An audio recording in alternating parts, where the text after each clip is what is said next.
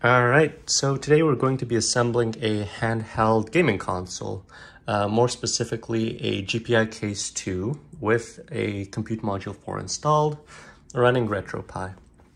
So in the past, I've done this with, you know, a Raspberry Pi uh, 3B, I believe, and it plays games uh, excellently. I mean, predominantly Nintendo 64 or other games like that that are supported on similar consoles with similar hardware.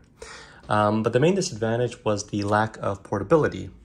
So you would basically need to plug it into an uh, monitor and a nearby power outlet, um, as well as the one or more controllers you would need to play the games. Here, with the RetroPie GPI Case 2, all that is essentially consolidated into one. So this is very similar to a Game Boy console with a integrated display screen, um, directional buttons, uh, select start, a few other features as well as left and right um, back bumpers. Now, in order to actually assemble this, we'll need three specific components. Well, we'll need this case, which also comes with a dock that allows you to mount it um, to an external monitor or to add additional controllers. Um, we'll also need a compute module.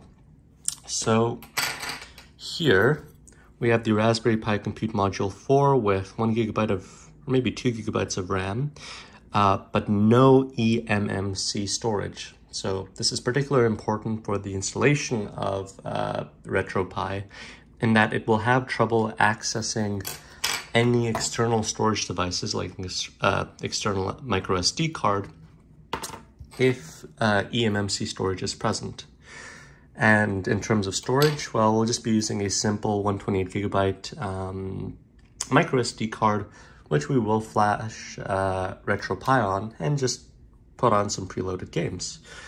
So yeah, this is kind of going to be my first shot at seeing if this is actually possible and how hard it would be to troubleshoot this. There's relatively not that much documentation and probably for good reasons given that Nintendo probably doesn't want people allegedly uh, playing games that they may or may not have purchased on their console, uh, or on third-party consoles rather. So I'll give it a shot. I'll encounter any troubleshooting notes we'll take. And of course, uh, I'll also post a link to the tutorial that I was following in order to assemble this. Alright, so we were able to install RetroPie on the RetroFlag GPI Case 2 using the same instructions that were um, or that will be mentioned in the description of this video. The one thing that wasn't covered is how to actually transfer games onto the operating uh, onto the system. And there are a couple ways to do it, but given that there isn't a easy way to directly access the SD card while it is in the console, I opted for the SSH approach. So we can basically um, SSH into uh, the Pi, and well, that's essentially what I did over here using my laptop. So the first thing I want to verify is that all the storage, the 128 gigabytes or so, was being uh, recognized. And it has. So you've got about 110 gigabytes uh, worth of games we can load onto the system. Now, in terms of actually transferring the files, you could use something like PuTTY, but honestly, I'm not a huge fan of headless environments, so I opted for something like FileZilla. Uh, so I'm just going to quickly connect again. Um, fact, I might just have to restart this.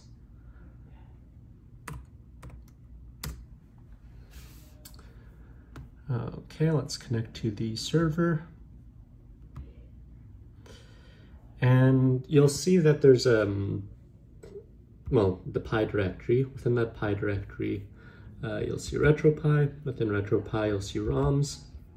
And within ROMs is where you want to upload whatever ROMs you've downloaded into their uh, respective folder. So just to try this out, we are going to locate the SNES folder, uh, find the new Super Mario Bros. game, uh, which I am definitely not pirated, if anyone asks. Um,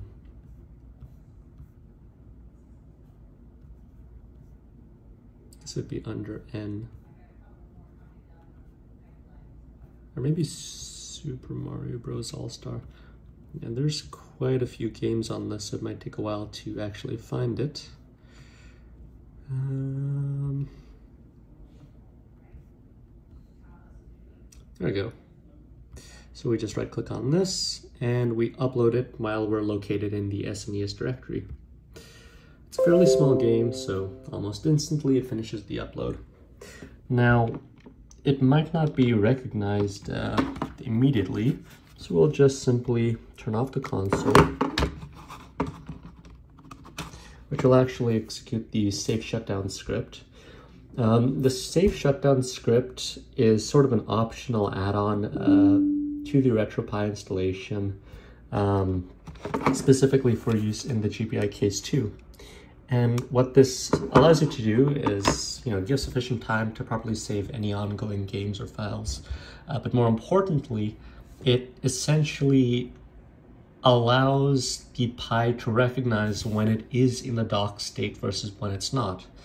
When it's not in the dock state, it'll um, default to its output being the LCD screen directly connected to the GPIO headers of the Raspberry Pi, uh, compute module 4 that is in the dock state, it'll default to the HDMI output on the dock itself.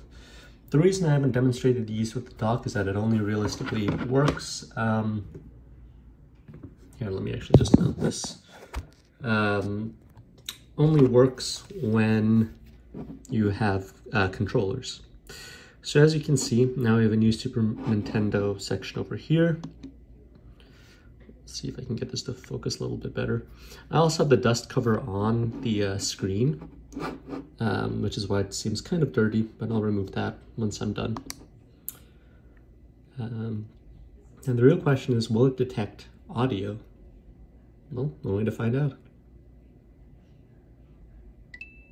Yeah, I guess that's a yes. Turn up the audio, turn up the brightness.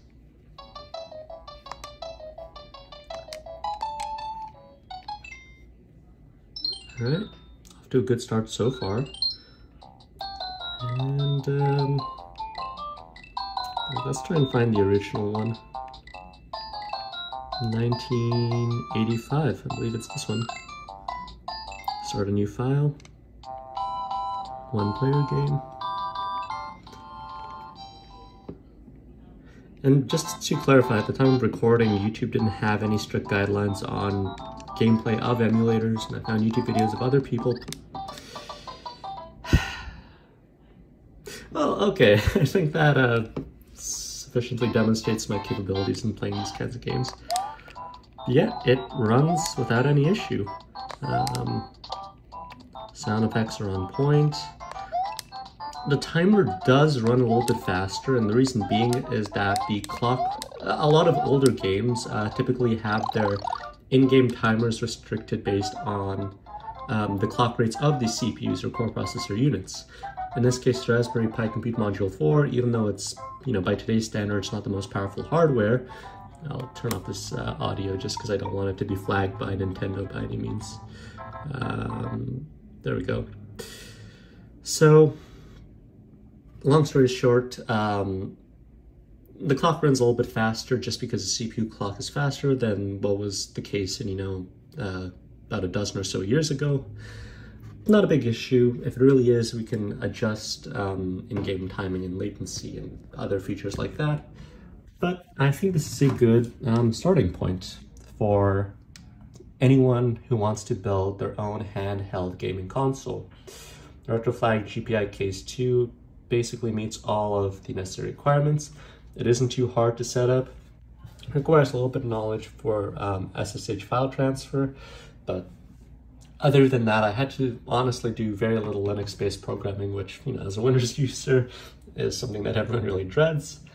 Um, and yeah, you know, I'll post a few videos if I ever figure out any cool features that um, I haven't really covered. So yeah, here's to retro gaming.